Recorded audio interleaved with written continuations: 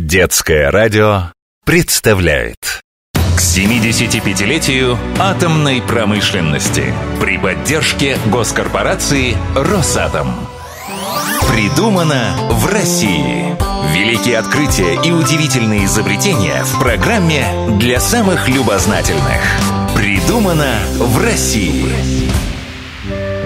Жила-была девочка Маша, обычная девочка. И вот однажды, в день рождения, родители подарили Маше телефон. Обычный вроде бы телефон, как у всех. Да вот только выяснилось, что есть в нем кое-что необычное. Вернее, кое-кто необычный. Меня зовут Всезнайкин И живу я тут, в Машином телефоне Кто такой Всезнайкин? Инопланетянин? Компьютерная программа? Телефонный домовой?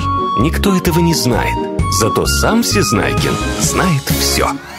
Придумано в России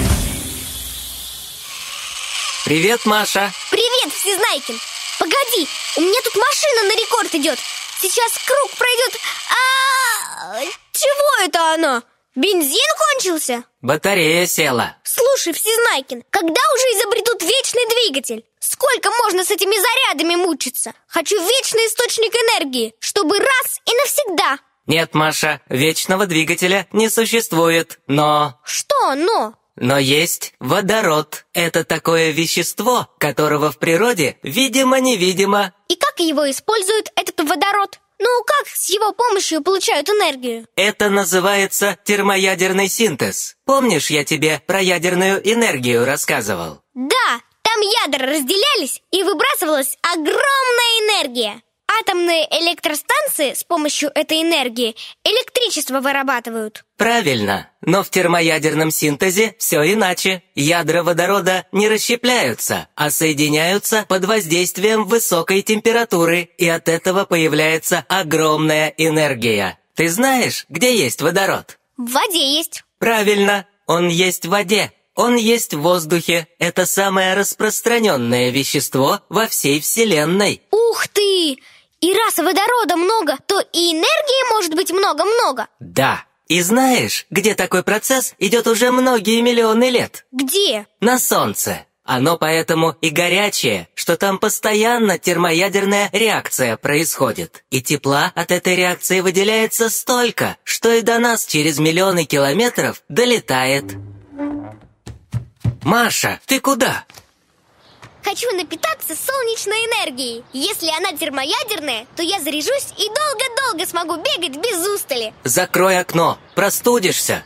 Людям с лучами солнца энергия не передается. Чтобы зарядиться, тебе надо съесть что-нибудь. Я смотрю, у тебя бублик лежит на столе. Ешь его скорее. Точно! Это он у меня с завтрака остался Сейчас съем Но раз у нас такая полезная энергия есть Почему ее везде не используют? Потому что долго не могли придумать, как этой реакцией управлять. Она была неуправляема. А сейчас придумали? Да, и придумали в России. Сначала ученые доказали, что такое вообще возможно. Ведь чтобы соединение водорода происходило, нужно его нагреть до 150 миллионов градусов. А это много?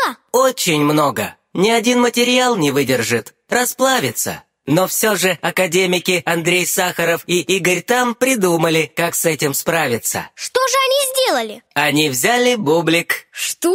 Они создали модель термоядерного реактора в форме бублика. А как же можно засунуть в бублик эту термоядерную реакцию, если она такая горячая-горячая? Есть одна хитрость. Какая? У тебя на холодильнике висят магнитики. Если их снять и между двумя магнитиками расположить малюсенькую металлическую крупинку, то она будет висеть в воздухе. Ух ты! Волшебство! Никакого волшебства. Это так действует магнитное поле. Ученые подумали и создали большущий аппарат, похожий на бублик, в котором магнитное поле удерживает раскаленный газ. И он ничего не сжигает. В бублике, а называется этот аппарат токамак, и будет гореть наше земное солнышко. Токамак? Вкусно звучит. И где же токамаки стоят? На крупных промышленных предприятиях, где нужно много энергии. По всему миру уже построено 300 токамаков. Это чистая энергия, без вреда для окружающей среды. Наши атомщики сейчас участвуют в международных проектах создания термоядерных реакторов, чтобы у всего человечества был неиссякаемый источник энергии. Ух ты! Здорово придумано! Придумано в России. Продолжение следует.